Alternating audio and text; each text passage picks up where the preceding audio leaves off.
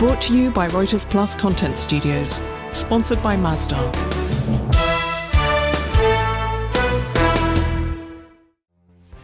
Hello and welcome to Future Energy Talks with me, Andrew Wilson. When it comes to clean energy solutions, hydrogen has been talked about for decades. But has its moment finally arrived as a carbon free solution, particularly in the most challenging sectors like concrete and steel? Stay with us to find out.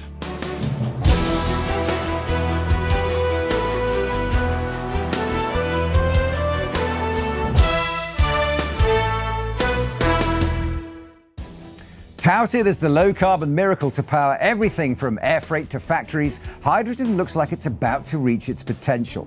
Many companies are investing heavily now in hydrogen projects. Masdar, our sponsor, has been leading green hydrogen production across the Middle East, and many more companies are following. But do the challenges of affordability, safety, and distribution still have to be managed?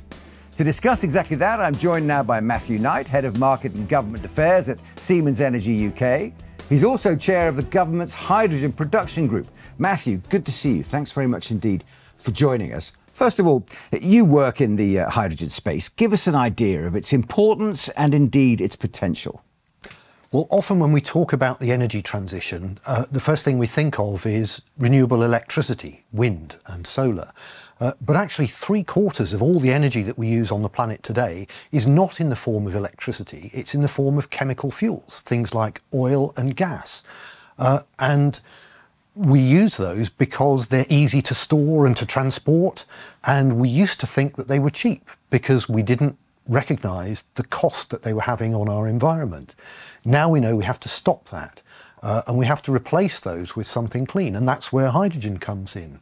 For a lot of applications, hydrogen is a clean alternative to those chemical fuels.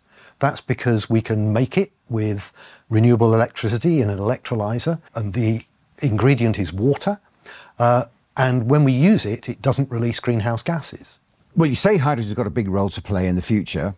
Where do you see those uses playing their part? Well, hydrogen has a wide range of potential uses, uh, some of them more valuable and more urgent than others. So, the first place to start is replacing hydrogen where we use it at the moment. In order to make fertilizer, we need ammonia, and we make ammonia with hydrogen and nitrogen from the air. And today, the source of hydrogen is fossil fuels. So, globally, fertilizer manufacture is responsible for about 1.5% of greenhouse gas emissions at the moment we need to get rid of that. And one of the ways to do that is with green hydrogen. Let's deal with the issue of expense then. It's always traditionally been thought of as expensive. Is it still expensive? Well, it's getting cheaper. If you're looking at hydrogen that's produced in an electrolyzer, the cost of the energy that goes in is maybe 80% of the lifetime cost of producing energy. And as we know, the cost of renewables has fallen spectacularly. I was a bit of a pioneer in the UK's offshore wind industry, and we've seen the cost of offshore wind here come down faster and further than most of us, even in the industry, hoped. So it's fair to say now that governments in different parts of the world are looking at the possibilities and seeing how their infrastructures and their markets will be able to cope with that.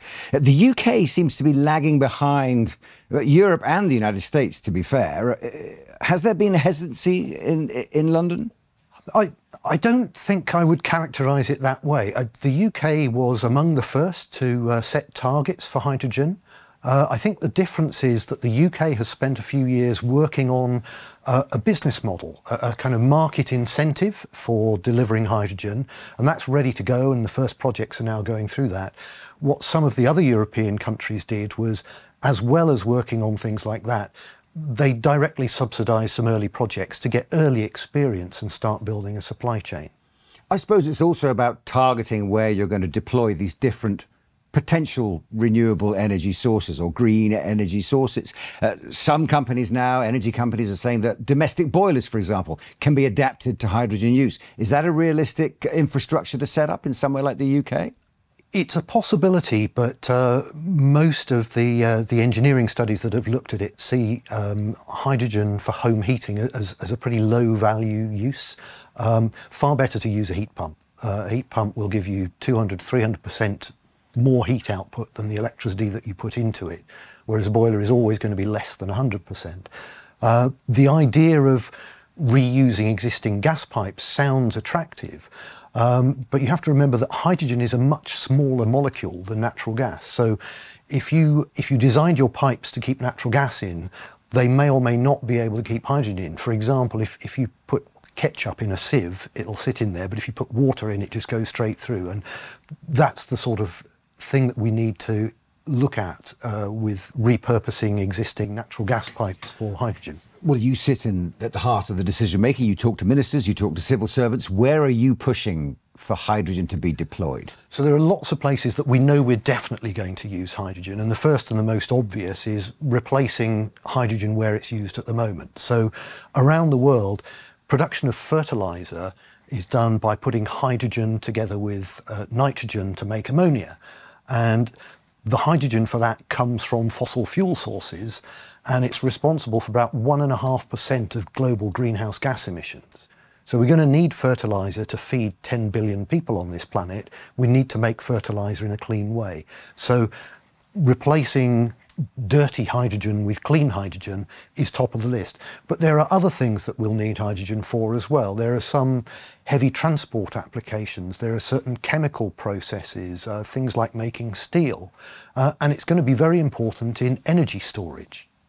A couple of projects that Siemens Energy is working on at the moment in partnership with Masdar, for example, also Total Energies looking at sustainable aviation fuel. Is this a realistic possibility? It's a very realistic possibility. Uh, and we're working with those two companies on some pilot projects, uh, and the challenge is scaling up. Aviation is possibly the, the hardest industry to decarbonise because at the moment it's, it's an international industry, so it's outside the juris jurisdiction of any particular government. Uh, it burns a million barrels of kerosene a day. Uh, and kerosene is very easy to deliver to any airstrip anywhere in the world. So we need an alternative fuel that's relatively energy dense and relatively easy to move around.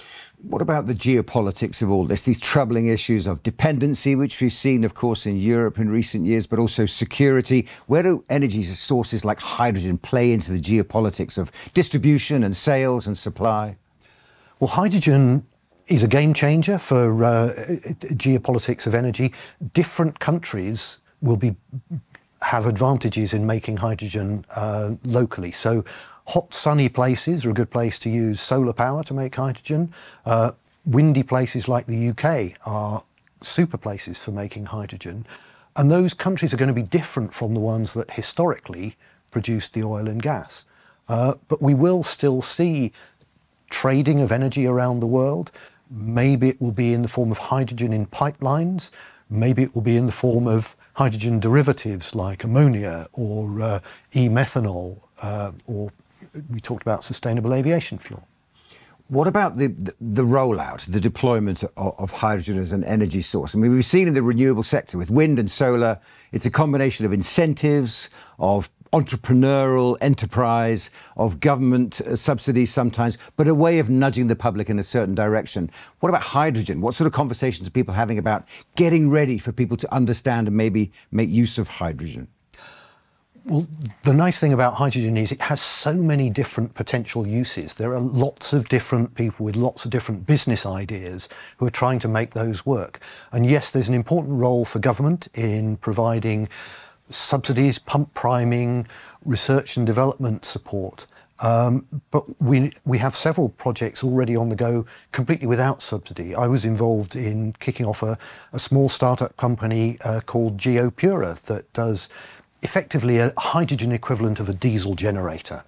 Uh, and that is working quite well without any subsidy at all. Uh, and it's, it's using hydrogen to provide uh, off-site power supplies for people like the film and television industry or construction sites. Those are customers for whom the cost of energy is relatively small in what they do, but the value of being green is quite important. So they are early adopters of hydrogen. And what we'll see is as the industry grows, as the costs come down, which they surely will, just as they did with batteries and wind turbines, um, it will open up new use cases and more customers will be able to afford hydrogen. And so the industry will snowball. And it has to grow 10,000 times bigger than it is today if we're going to make a difference to climate. Energy storage, that's an issue now. Where, where do we stand with energy storage? Well, energy storage covers a wide range of things. We, uh, we need to sometimes store energy just for a few minutes, and a battery is great for that, or for a few hours. But if you're getting on to days or weeks, you need to somehow store it as a chemical that you can convert back uh, to electricity when you need it. And there's an interesting study that's recently been done by the UK's Royal Academy of Engineering, where they found that one year in 40, you need 20% more storage to satisfy the energy needs of this country than the other 39. So somebody's got to uh, produce a chemical, store it somewhere, and keep it locked away until you absolutely need it and you've got nothing else left. And that's a, an interesting challenge uh, for governments in the future to, uh, to find out ways to do that. Are we making any headway with that? We are. There's a project that's being developed in the UK uh, between Equinor, SSE, and Siemens Energy is involved called Aldbrough Gas Storage. And it's an existing salt cavern which today stores natural gas, but in future they're going to use this big hole in the ground to store hydrogen. And the hydrogen will be made with renewable electricity from one of the offshore wind farms off the east coast of England. We'll pump the hydrogen at pressure into the ground, and then when it's needed, when the wind's not blowing, we'll let the hydrogen come back out and it'll go through one of our gas turbines to make electricity. Let's take a step back and, and look at some of the, the science in this. I mean, we talk about blue hydrogen, we've already mentioned green hydrogen. What are the differences? And what's the pluses and minuses, particularly of blue hydrogen? Well, they both produce hydrogen, which superficially it's the same product, but actually it has different customers and it's done on different scales. So in green hydrogen, we take electricity and we put it through an electrolyzer and we split water into hydrogen and oxygen. We can release the oxygen into the air, and when we use the hydrogen somewhere, it will recombine with oxygen and we get water back. So it's a completely sustainable process. And that's attractive um, to lots of different customers, particularly those who really want to be green. And blue hydrogen is more of a chemical process. It's made in very large chemical plants. And we do something called carbon capture and storage. So we take a fossil fuel like natural gas, we strip the carbon off and we bury the carbon, and then we're left with the hydrogen. Uh, that process can only be done at large scale, and you need to have a place to put the carbon dioxide. So it's a different kind of process, it's a different scale, it's different kinds of customers. But that's really valuable for, say, a chemical plant who at the moment is using fossil fuel. Um, they can reduce their carbon emissions by 80% by using blue hydrogen. So different customers, different uses, but the same end product. Matthew, let's look at carbon capture. You mentioned carbon capture earlier on. Carbon capture and storage, what are the applications of that and how can that be used to decarbonise, particularly heavy industry? Well, if you want to clean up a process, you can either put a clean thing in at the front end or clean up the emissions at the back end. And carbon capture and storage is about cleaning up the exhaust. And that might be the exhaust of a power station or a chemical plant or anything else that's releasing greenhouse gases into the atmosphere at the moment. The way it works is you have a, a, a chemical process that separates the carbon dioxide from the stream of the flue gas, uh, and then you pump it at high pressure into a big hole in the ground somewhere, like an exhausted oil and gas field in the North Sea. And that's what the UK government is planning to do with its big programme for carbon capture and storage. Can you see a time down the line where we're actually going to be scraping the carbon out of the atmosphere and storing it and taking away the bits that we need and hiding away the bits that we don't? Well, people are already doing that on small scale in various pilot parts around the world. Um, from an engineering point of view, it's easier to start with um, a more concentrated source of carbon dioxide. So, for example, on the back end of a power station, the exhaust gas of a power station might have 15, 20% carbon dioxide in it rather than 450 parts per million in the air. So, carbon capture from existing chemical and energy type processes is a good place to start. The other alternative is biomass. We grow a crop that captures the carbon from the air as part of the growth of the uh, whatever the crop is. Uh, and then when we use that crop in some way to make biofuel or we combust it, um, the, the, carbon is released. But if we capture it, we've then got a way of uh, actually making a sort of negative uh, way of capturing carbon and releasing energy. So, realistically, what's your vision about how hydrogen will introduce itself to industry, to the public, to go further, to make the growth that you talked about a moment ago? Well, I think as we see this industry grow 10,000 times in a decade, and don't, you know, I'll say that quickly, but it, that is quite a challenge, uh, we'll see the uses change and we'll see the customers change. We'll obviously see the costs come down as well. So for blue hydrogen in the UK, we already have a number of projects which are just waiting to hear whether or not they've got a, a, a government support contract. Uh, and they will start building in the next year or so, and they'll come on stream maybe 2027, uh, around about then. But they are big blocks. You're talking gigawatt scale in one particular project. Uh, green hydrogen will start with small projects, and we're already seeing those, and the projects will get larger, and the number of projects will grow, and we should, both blue and green, get to around the sort of 5 to 10 gigawatt scale for each of those industries by the end of this decade in the UK. I mean, I still think of hydrogen as a, as a, as a, a niche market and a niche technology. Am I, am I behind the curve? It is today, and I think whenever someone's talking about hydrogen, you need to clarify are you talking about it this year, next year, or five years' time? We are on that massive ramp up learning curve, uh, and it, it is going to be big. Um, people will argue how big, but it's going to be big. Are you optimistic? I am optimistic, but also I look at climate change. We we use as a, a, a around the planet 100 million barrels of oil every day. We've got to replace that entire infrastructure with a clean alternative by the middle of the century.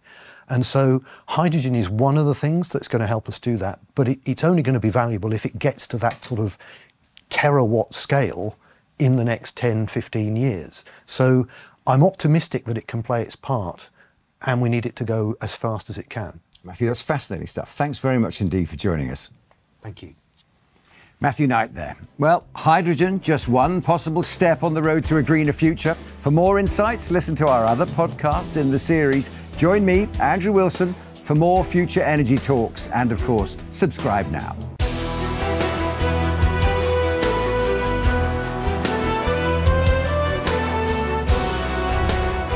Brought to you by Reuters Plus Content Studios. Sponsored by Masdar.